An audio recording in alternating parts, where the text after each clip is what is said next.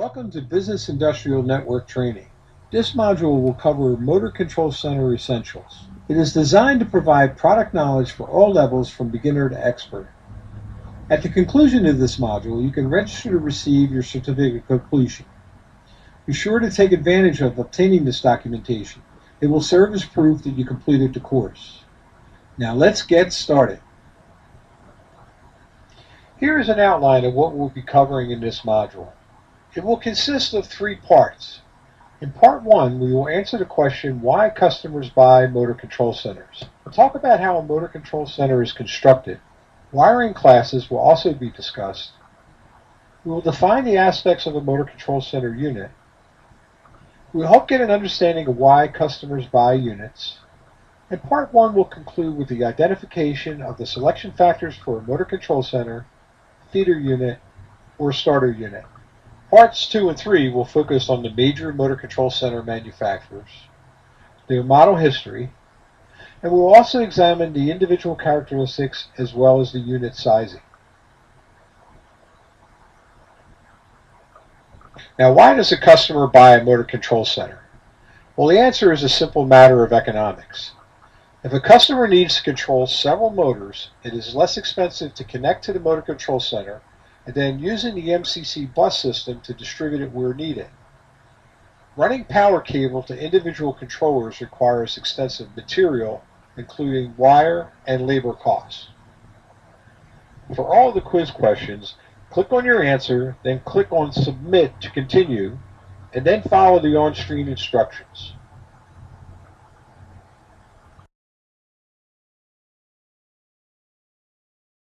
Here's a typical motor control center diagram showing a circuit breaker combination starter, start-stop push button, control transformer, and run pilot light. With the stop button closed, the start button open, the M contacts are in the open position. When the start button is depressed, the contacts close and power flows through the coil, illuminating the pilot light, then through the normally closed overload contact closing the M contacts. When the start button is released, power is maintained to the coil through the auxiliary contact M. When the stop button is pressed, the power drops out to the circuit and the M contacts open.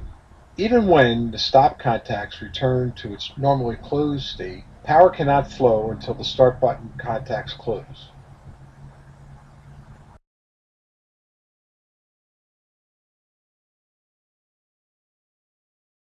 Let's examine how a motor control center is composed.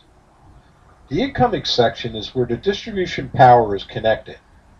It can be a main circuit breaker shown here, or main lugs only as seen in this photo. From there, the power gets distributed by an internal bus system. This arrow points to the ground bus. Further examining the bus system, you will see the main horizontal bus, which is sized depending on the load connected to the motor control center. The power is then distributed to each section by the vertical bus. The bus is housed in an enclosure that's available in different environmental ratings as designated by NEMA and IEC. We will go over these in more detail later. Control and power wire is distributed through the vertical, top, and bottom wireways. The units, also known as buckets, contain motor starters or feeder switches or breakers. Other distribution equipment such as transformers or panel boards can also be contained in the motor control center. Accessories and modifications such as push buttons, selector switches, and indicating lights may be added to tailor the units for specific applications.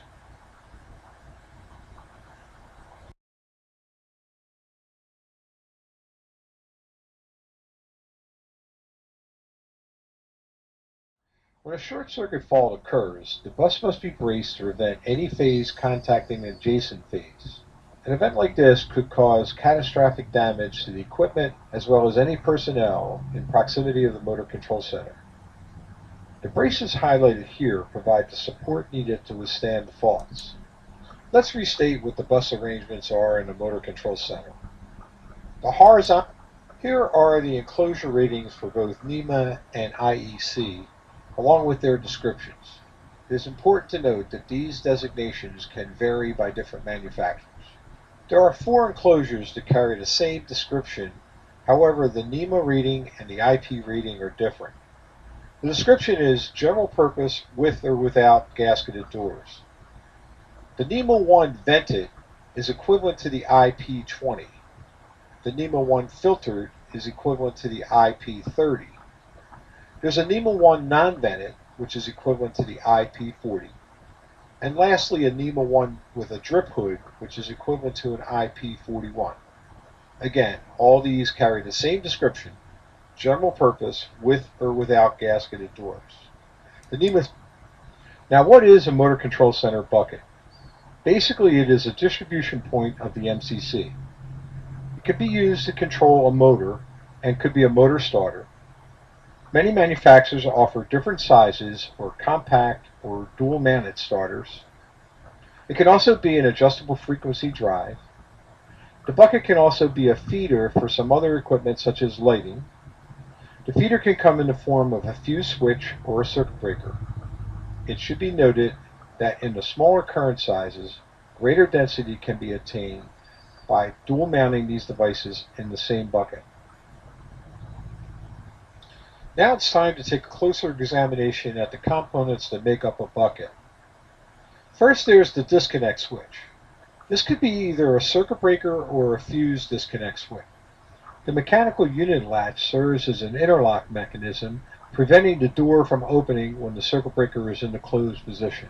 There's the operating mechanism which turns the breaker on and off and also goes into the trip position when the breaker trips. There's the motor starter itself. There's the pilot devices such as the start stop push button, selector switch, and indicating lights. Terminal blocks are usually mounted on the side of the bucket. Now why do customers purchase motor control center buckets? One simple reason is that the old unit failed and needs to be replaced. Another could be that renovations or additions may be required in the plant, presenting the need for an additional starter or feeder. Oftentimes, smaller motors are replaced by larger motors, making it necessary to change a starter in the motor control center.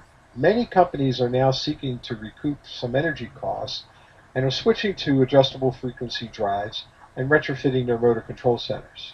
Purchasing considerations include available factory space. Next, we'll spend some time going over NEMA wiring class designations. Type A indicates that the starter units are supplied without any wiring to terminal blocks. Type B stipulates that the wiring is connected to terminal blocks within the starter unit. And Type C refers to units that are wired to master terminal blocks mounted in either the top or bottom of each vertical section.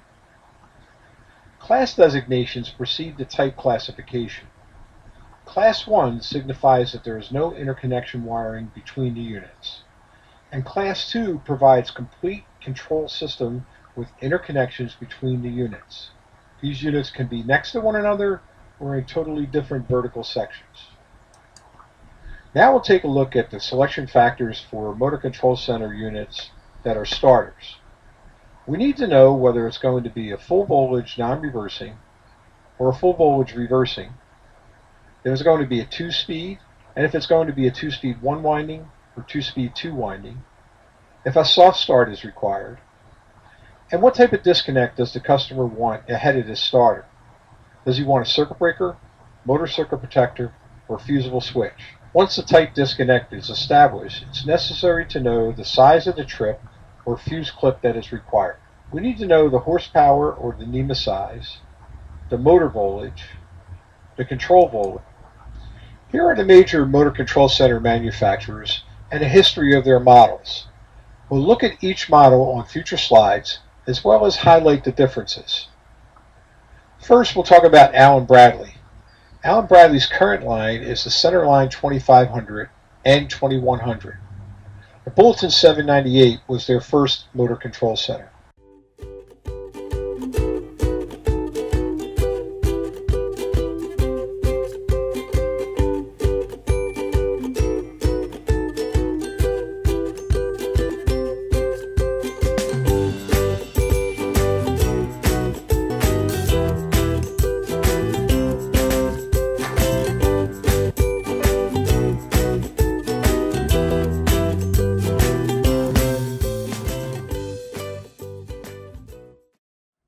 Turn our attention to Siemens. Siemens owns the rights to ITE, Gould, Allis Chalmers, and Furnas motor control centers. Let's examine the ITE Gould 9600, which was manufactured from 1964 to 1971, and the ITE Gould 5600, which was manufactured from 1971 to 1992. Here are the characteristics. The handle mechanism for the 9600 was rotary. Version 1 of the 5600 used a rotary handle, while version 2 used a lever type mechanism. The starter used for the 9600 was the Gould A203.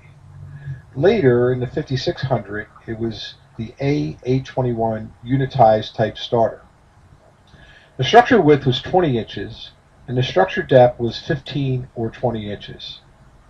The 9600 models were 20 inches wide with no vertical wireway. The 5600 model was a standard 15 inch wide bucket. Let's take a look at the Gould 9600 buckets in more detail. The starter sizes for the circuit breaker and fusible switch for sizes 1 and 2 were 12 inches high. For the circuit breaker type, the size 3 was 18 inches high,